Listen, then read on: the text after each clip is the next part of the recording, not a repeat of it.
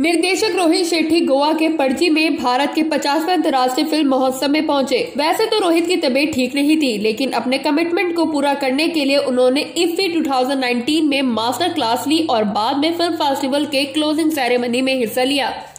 Master class के दौरान रोहित ने अपने फिल्मी सफ़र को लेकर कई दिलचस्प किस्से साझा किए।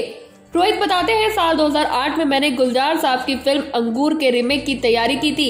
मैंने कुछ यंग एक्टर्स को ध्यान में रखकर अंगूर की लिख ली थी। उसी समय मेरे पास शाहरुख आए और उन्होंने मेरे साथ फ़िल्म करने की बात की। मैंने शाहरुख को अंगूर की स्क्रिप्ट दिखाई तो वह फ़िल्म करने के लिए तैयार भी हो गए, क्योंकि अंगूर शाहरुख की माँ के पसंदीदा फ़िल्मों में से एक रही है। रोहित, आगे बताते हैं, कुछ दिनों बाद मेरे पास चेन्नई एक्सप्रेस की कहानी आई।